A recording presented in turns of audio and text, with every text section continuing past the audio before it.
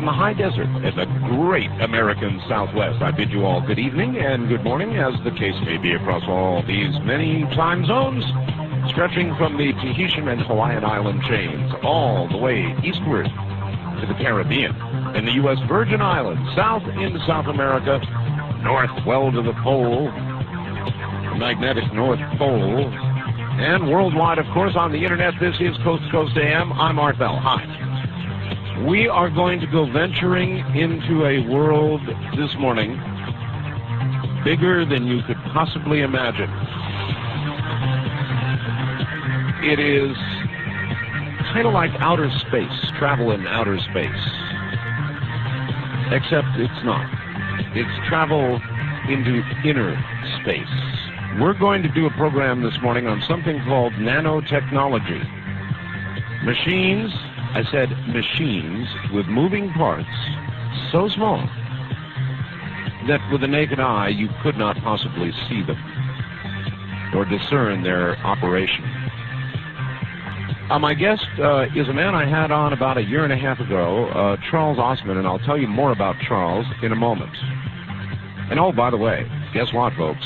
The first crop circle of the year as you know, uh, has already occurred, and guess guess who has a photograph? um, so if you want to go up to the website and take a look, and it really is neat, because of course the crop is new, so it's green. This crop circle uh, occurred instead of uh, in mature wheat or something uh, in a green field, and it is beautiful. And of course, it's on the website, which is where you should be. That would be www.artbell.com. www.artbell.com. It is beginning early this year, indicating no doubt there's going to be a lot of crop circles. What are crop circles? Well, I don't know. You tell me. A lot of people think they are fractal, uh, particularly the more uh, uh, uh complex ones. Um, like Stonehenge with 191 circles, and that they are either a message or have meaning. Nobody really knows what they are, but they certainly are, and they are not the product of Doug and Dave with a board and some chains tromping about. So you go take a look at the first crop circle of the year. It's on the website now. Now, nanotechnology. What in the world is that? I've got a man who knows. His name is Charles Ostman. I had him on the air, I'm going to guess about a year, year and a half ago. He is a member of the Science Advisory Board of NanoThink. NanoThink. A privately funded nanotechnology think tank and development research uh, uh, facilitation for a consulting group. He's also a senior fellow of the Foresight Institute. That's not Farsight, Foresight, folks. A senior fellow of the Institute for Global Futures. Currently the science editor and author for Mondo 2000 magazine. I'm sure you've heard of that. Technical editor and author for Midnight Engineering. And contributing editor author of Robotics Digest. He's also a um, uh, currently uh, authoring a piece for the IEEE Spectrum on the topic of biomolecular nanocomputing systems and devices. Good Lord. Uh, that has a kind of an interesting connotation to it. Charles, welcome to the program. Thank you very much. Glad to be here. You uh, really have your plate kind of full there, don't you? It's brimming over, but in a way, this is a very good metaphor to symbolically represent the world we're about to be thrust into. Uh, very much in kind of the same way that you depicted this process that you refer to as the quickening, where it's a compression in the temporal domain. I'm looking at compression and convergence in the functionality domain. Meaning, uh, that, that's a big mouthful. Uh, I take that to mean a compression and convergence of uh, a very wide plethora of different types of industries, scientific disciplines, and even socioeconomic systems, which up until fairly recently were still relatively autonomous, self-contained process engines that would produce some kind of product, service, and or scientific uh, discipline-oriented uh, results uh, as part of a development stream that resided within their own autonomous realm. That does not exist anymore. Everything is becoming ever more interconnected. Interconnected, yes. That's correct. And this process is being driven by this connectivity grid, which we now call the Internet. And I date back to the very early days. I, I'm an old uh, crusty fellow. I date back to uh, quite a few decades ago, really, back in the National Lab System, when the Internet then was developed for the National Lab System as nothing right. more than a communication network. Correct. It's gone far beyond that. And yet, even back in those early days, there were a few uh, what were considered perhaps uh, on the fringe kind of people that speculated at some threshold moment in time, mm-hmm. the connectivity factor went up to about where it is now, everything would be uh, poised at a almost like like a cliff, if you will, where the rate of change and the volume of change processes would simultaneously converge so that every technology is interconnected to every other technology. I would like to I would like to get your thoughts, if I could, on the internet itself, uh, where it has gone, where it presently is, and where it's going, and what it means for society. Uh, what are your thoughts on oh, it? I have. I, wonderfully, you should ask this, and, and I'll start by saying, approximately two years ago, I wrote a paper, a technical thesis, a refereed paper called "The Internet as an Organism," which I submitted to the European Society of Artificial Intelligence and Cybernetics, and they have their annual uh, conference in Austria.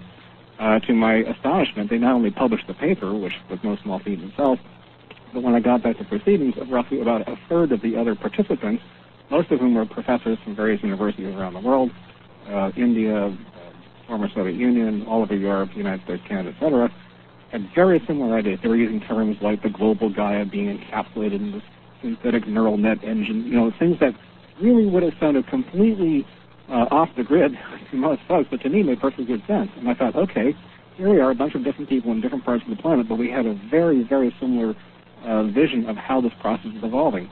And therefore, I submit to you the following idea that an organism in itself is self-correcting, self-modifying, it grows, it adapts, it will, at a certain point, spawn, you know, offspring of sorts, mm-hmm. and that's what you have going on in the internet now. You have a hopefully benign, but what I see to be an involuntary symbiosis between the human species and this connectivity system, which in fact does have self-modifying, self-correcting properties. You already have companies like NTT and ATT developing neural net-driven and even genetic algorithm driven routing structures to optimize performance of the peak load pattern sets. Oh, well, hold on. You're getting ahead of the average person out there. Okay, well, I'll, I'll, I'll back away. Back back away a little bit. All right, you I'll, said, uh, with regard to the Internet, hopefully, okay. hopefully benign. Yes. Now, that, I, that indicates to me you're not sure. Well, and no one is. It's all a matter of ratios of probability. And uh, in the book that I'm currently working on, I study this problem rather carefully. I have a whole series of sort of what I call option graphs that say under these criteria, this potential series of outcomes could arise. And I want to offer the following thing. The fact that we are heading into an enormous change is, in fact, absolutely the, the way it is. Some people look at prophecy and talk about some sort of calamity due to a mm. huge commerce. And some people talk about a spiritual calamity. Some mm-hmm. people talk about huge weather changes and so forth. I actually don't focus on that at all. But what I do focus on is a socio-economic upheaval on a scale never before experienced in human history. There's going to be a, a mantle of chaos that this process, this convergence and this quickening will sort of come up against. It'll be like a barrier. It'll be like the next evolutionary test, if you will. And if we, as an organism, uh, can successfully negotiate this test, we'll come through it as a more robust organism, as a more robust society, as a process. If we fail, we'll be sort of mired in our own socioeconomic chaos, and we're about two, three, maybe five years max away from that horizon. Are you are you familiar with Michael Crichton's theory uh, about the internet? Yes, and in fact, I understand what he's getting at. His basic theorem is that just as you have biodiversity in an ecosystem to make a more robust ecosystem, you should have behavioral diversity or cultural diversity to maintain the health of a society. Very good. That, that, that it will squash diversity.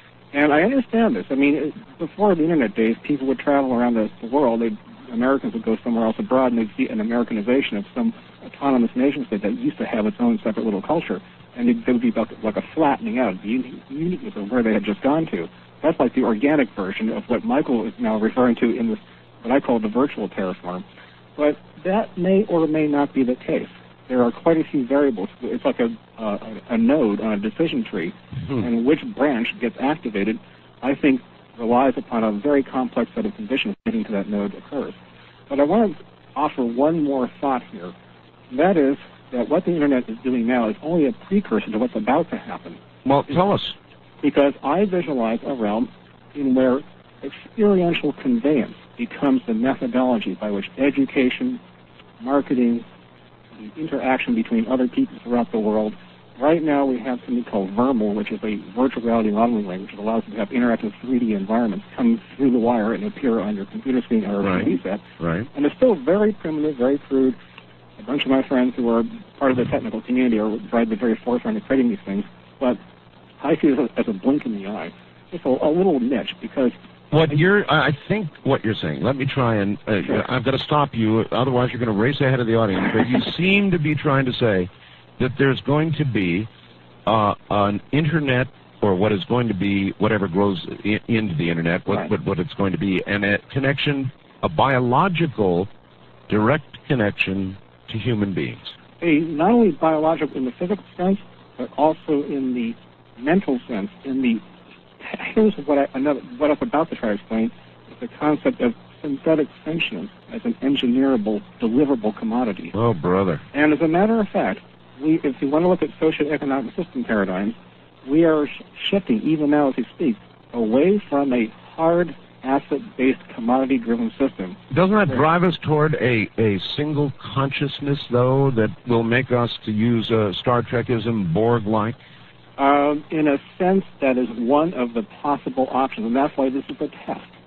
Every time the human species, and I think this has happened many times in many other worlds throughout the known universe, I think this was a very common rote series of processes that any organism would go through, an intelligent organism. So here we've climbed this ladder.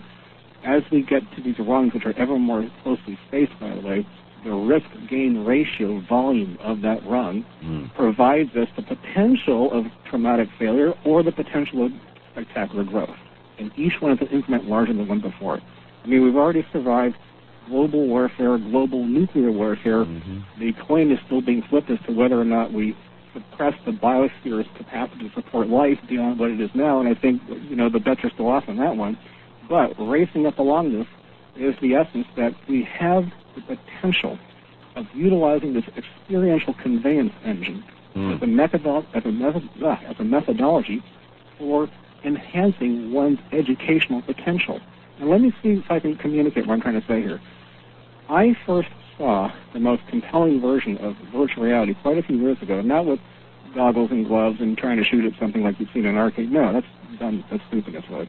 What I saw was the following. A friend of mine who unfortunately passed away, his dream was to capture the great archaeological sites throughout the world, especially ones which are trapped in politically difficult circumstances, like Baalbek in Iraq or Angkor Wat in Cambodia, Sure. and or many of the sites that are now uh, crumbling away because of human and, uh, and exposure to pollution, that sort of thing.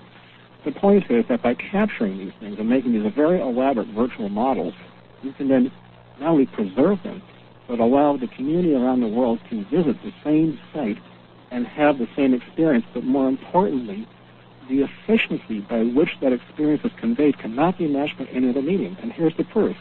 I went to Brazil as part of an international virtual reality consortia demonstration. This was well, about five, six years ago, actually.